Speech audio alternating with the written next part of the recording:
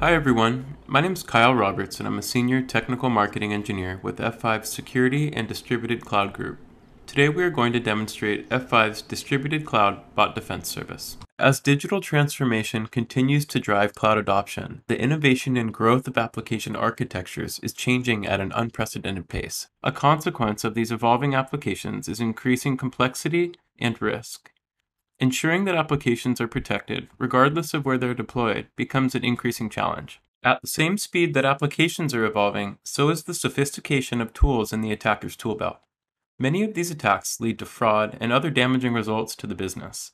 From credential stuffing using stolen credentials from the latest data breach to financial aggregators creating unintended risks for the financial institutions and the consumers. The use cases for a robust anti automation solution have never been stronger. Now let's take a preview at the demo environment that we'll be showing today and briefly discuss the components. Everything today is configured in F5 Distributed Cloud Services, which provides SaaS-based security, networking, and application management services that can be deployed across multi-cloud, on-prem, and edge locations. Our demo application is deployed in a virtual Kubernetes cluster running within the Distributed Cloud App Stack. Distributed Cloud Bot Defense leverages JavaScript to collect client signals and determine if the client is human or automated. We'll look at the JavaScript injection component in more detail.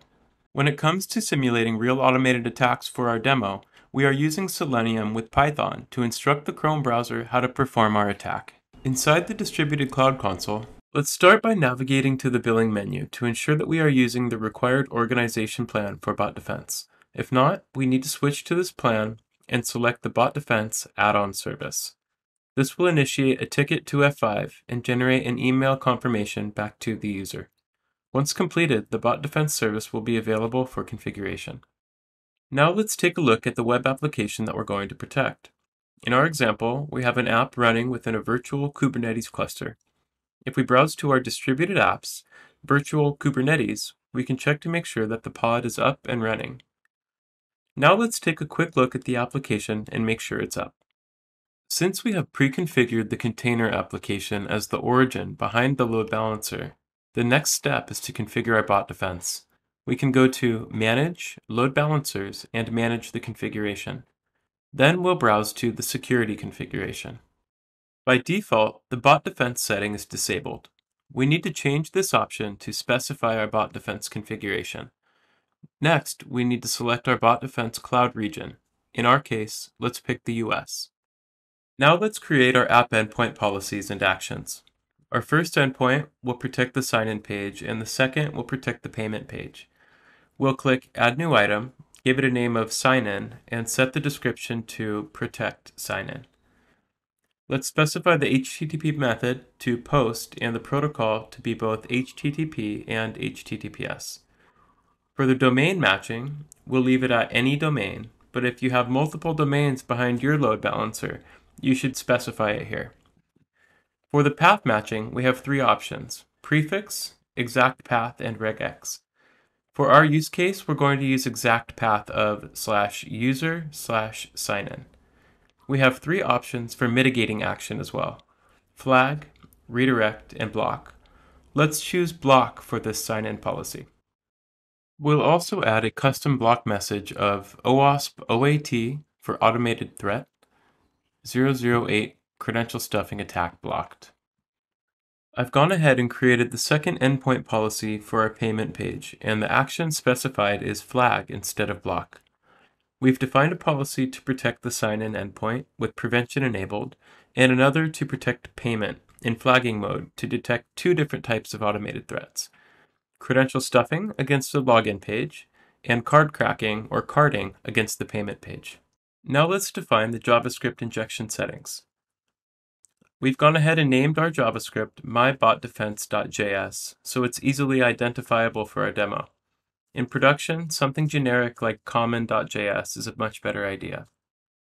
For the sake of our demo, let's inject the JavaScript into all pages and specify after the head tag for our location. Now let's apply our config and inspect the code on our web app to confirm the JavaScript injection. If we expand the head tag on our page, we can see our mybotdefense.js JavaScript is being injected appropriately into our application. Now let's launch our first attack using Selenium against the user sign-in endpoint. as we launch the credential stuffing attack, we can see our block message that we have configured is now being displayed. This tells us that our credential stuffing attack is being blocked based on our policy. Let's move on to our second attack using Selenium again against the payment endpoint. Make note of the response page in flag-only mode. Payment attempts are actively being sent through to the origin, and eventually one of these will be successful.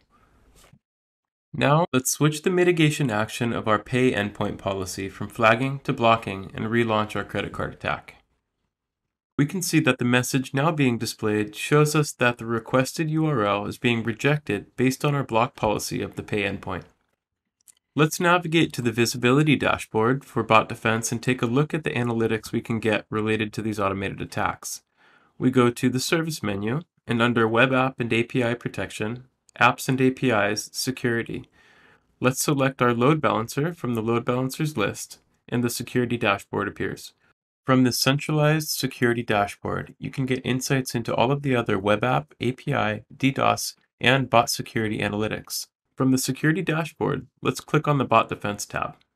This dashboard presents key information like which bots are making the most malicious requests, which endpoints are attacked most, and which automation types are being used the most.